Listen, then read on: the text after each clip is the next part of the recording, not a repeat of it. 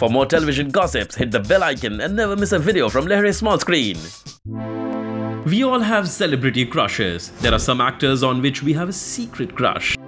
Some of the television actors are really handsome and often tagged as the chocolate boys of Teleland. We are sure that you have not missed these actors, but what if we tell you that they are secretly married?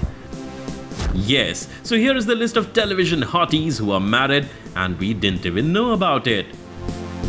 Salman Yusuf Khan Salman, who rose to fame with dance reality show Dance India Dance, is married to his school-time best friend Faiza Harmain.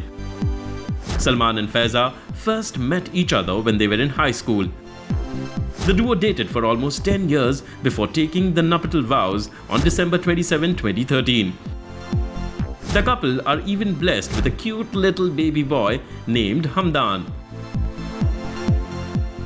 Varun Kapoor the Swaragini actor Varun Kapoor has surely made every girl skip her heartbeat at least once.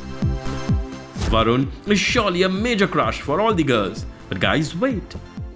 What if we say that Varun is already taken? Yes, Varun has been hitched to his long-time girlfriend Dhanya Mohan in 2013 and is having a blissful marital life.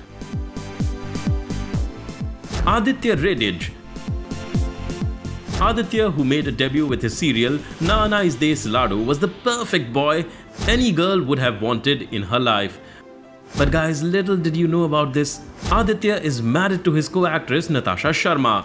Yes, the reel-life Sia Raghav Jodi soon has turned to real-life Aditya Natasha Jodi.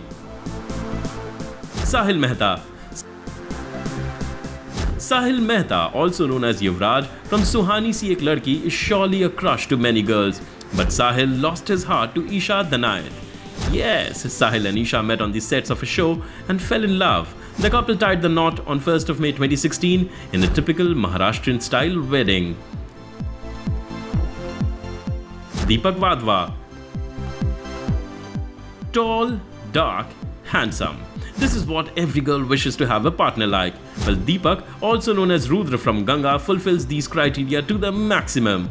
But girls, you are a little slow here as Deepak is already taken by Sayantani, who happens to be a stylist by profession. The lovebirds walked down the aisle on the 14th of August 2014 in a Punjabi Bengali style wedding. Well, these were some of the cute boys of Teleland who are already hitched, and many girls out there who are watching this might have given their hearts away without knowing that they are married. So, girls, who did you fell for? Let us know by commenting below.